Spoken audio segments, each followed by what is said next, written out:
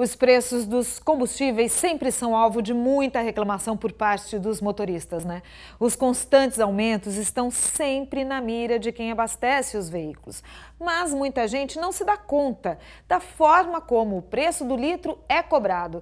Tanto que uma lei aprovada na Assembleia Legislativa do Estado proíbe os postos de usarem o terceiro dígito depois da vírgula.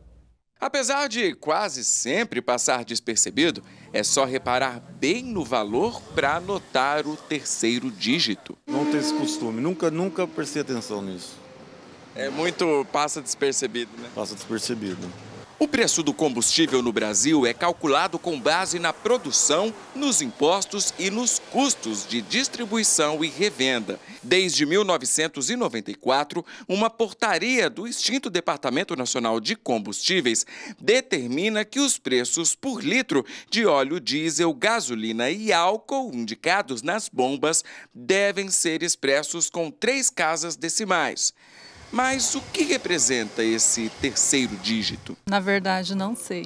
Eu não entendo muito desses valores não, viu? De cada litro, alguns decimais você conseguir, no fim já dá um litro ou dois. Um projeto de lei aprovado pela Assembleia Legislativa de São Paulo elimina o terceiro dígito do preço do combustível em todos os postos do estado. A intenção é tornar a política de preços mais transparente ao consumidor.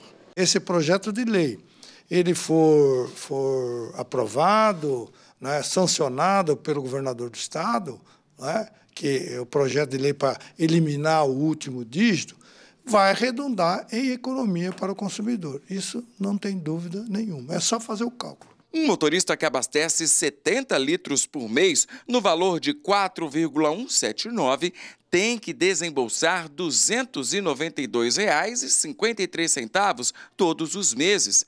Sem o terceiro dígito nos centavos, o valor do litro arredonda para R$ 4,17 e o tanque cheio sai por R$ 291,90.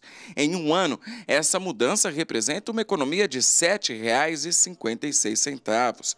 Mas se formos analisar o consumo de todo o estado de São Paulo, a diferença é significativa. Os consumidores paulistas compraram 30 bilhões de litros de combustíveis em 2016, de acordo com a Agência Nacional do Petróleo. A extinção do terceiro dígito corresponderia à economia de cerca de 300 milhões de reais, se todos os preços não fossem arredondados para cima. Esse 9999, normalmente, o que, que ele é? Ele é um, uma, uma ferramenta de marketing. Porque se você vê 4 e você vê 3,99, você fala, eu vou no 3,99. É mais psicológico. É psicológico, é, tranquilamente, é psicológico. Para começar a valer, o governador de São Paulo, Geraldo Alckmin, tem que sancionar a lei. A Alckmin tem até o começo de outubro para se posicionar sobre a medida.